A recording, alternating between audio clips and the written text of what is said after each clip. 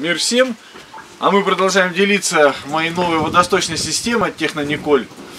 Значит, э, жалоба я все установил. И когда начал уже делать э, трубы, то собирался дождь. По небу ходили сильные тучи, подул ветер холодный, поэтому я уже показываю уже, как я их сделал. Ну, просто некогда было снимать. Вот. Значит, я немножко радуюсь, радуюсь, потому что вот это все строение, которое я сделал, я давно о нем думал, давно хотел. А вообще водосточная система нужна, понятно, вот лично мне там, для сбора дождевой воды и отведения воды от фундамента. Вот здесь же тоже вот постоянно у меня капало, тут размокало, это все не есть хорошо. Вот.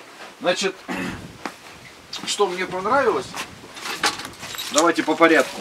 Значит, э, чтобы установить трубы, есть вот прям такие zip-пакетики, индивидуальный такой вот э, наборчик. Здесь даже дюбель, если стен, э, стена бетонная. Все тут очень просто делается, поскольку у меня здесь железо, а там дерево, идут стоечки. Вот, я делал это очень быстро. Вымерил, там расстояние, значит, не меньше 15, о, не меньше полтора метра должно быть друг от друга.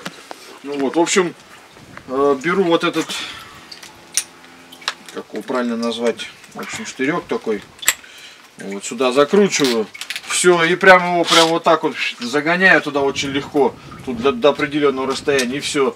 И на него потом уже надевается хомут. Все очень быстро. Специальные колена, значит, для этого предусмотренные. Вот. 45 градусов. Есть соединительная муфта, но я ее не использовал, потому что, ну, по всей видимости, труба трехметровая, мне, мне здесь достаточно. Здесь я вот установил э, сейчас вот буквально, то есть это в этом году. И, кстати, вот э, дядя Игорь Рыбаков, конечно, будет надо мной смеяться, но просто э, пошел дождь, и мне нужно было что-то придумать.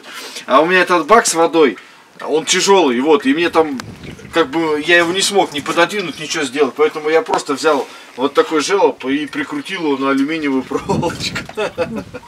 Проволока от Техно Николь, ну это шутка. Значит, это все я уже сам придумал. Вот, мне надо как-то было выйти из положения. Сейчас осенью вода уже как бы она не нужна, ну, практически вот. Ну, пока мы еще водой все равно пользуемся, вот, в хозяйстве там. Поэтому все равно я ее собираю. А потом придет время, я все это разберу, все это вылью. И на следующий год уже установлю баки именно здесь. Вода будет непосредственно течь э, прям в бак. И интересный такой момент, естественно, площадь такая, большой желоб и даже небольшой дождичек, вообще небольшой, там пару капель, все это дело собирается и заметно, как здесь вода увеличивается. Просто заметно, то есть никогда такого не было. Я очень рад.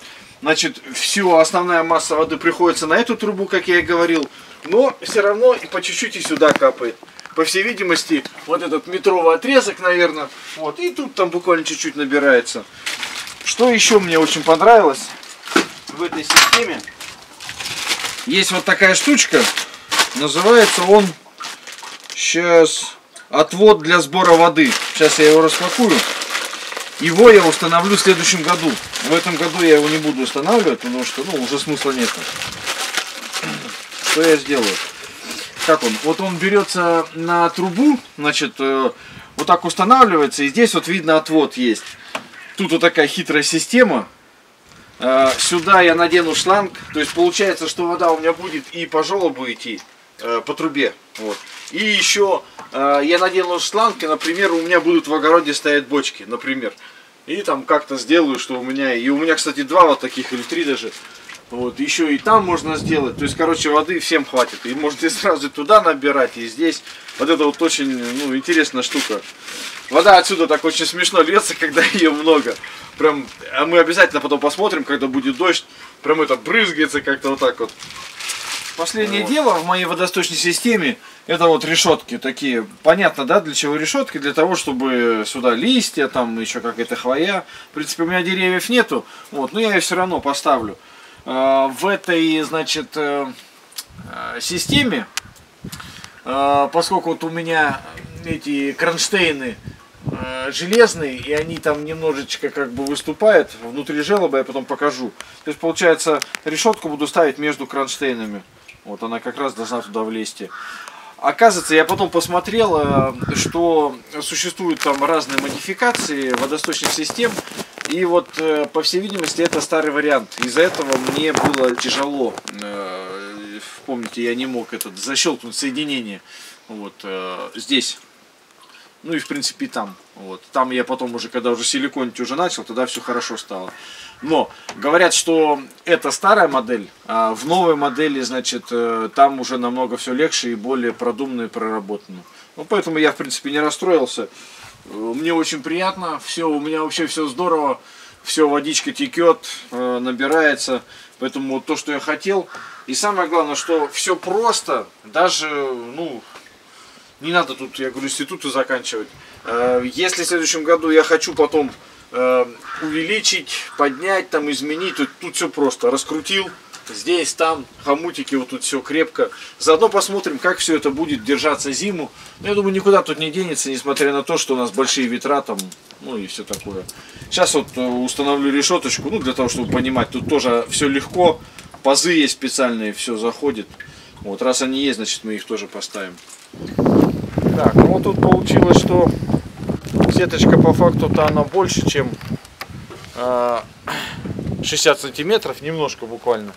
Вот, поэтому вот, э, вот, собственно, тут и такие пазики, вот она все, ну, как бы входит. Вот, только вот здесь вот чуть-чуть, конечно, выходит на кронштейны. Ну все, самое главное, э, можно вообще посмотреть, то есть нужна ли она здесь. Вот, но, в принципе, можно ее сделать, можно, наверное, посмотреть, там год не делать ее, да, если как-то будет загрязняться, то все-таки установить. Вот, либо что-то сеточкой подделать, чтобы кронштейн не мешал. Вот. Самое главное, что все, водичка идет, наклончик есть небольшой, там 3%. Капельки собираются в большую струю. Ну вот, а, задача выполнена, собственно. Значит, э, теперь наберемся терпения, поживем, Бог даст, и посмотрим, как это все будет через год работать. Вот пускай она постоит зиму, значит, весну, вот сейчас вот осень, как она будет там, обледенения какие-то, еще что-то. Вот. Ну, собственно, все. На этом наш обзор новой полезной штуки для хозяйства водосточная система Технониколь закончен. Он один-один таков, рыба, рыба, рыбаков. Спасибо начальникам за это. Ой, болтик потерял.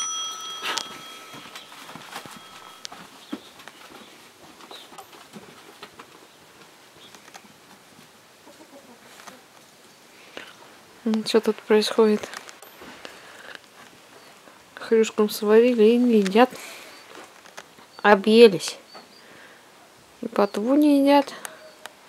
Вот эта жизнь настала. Классная.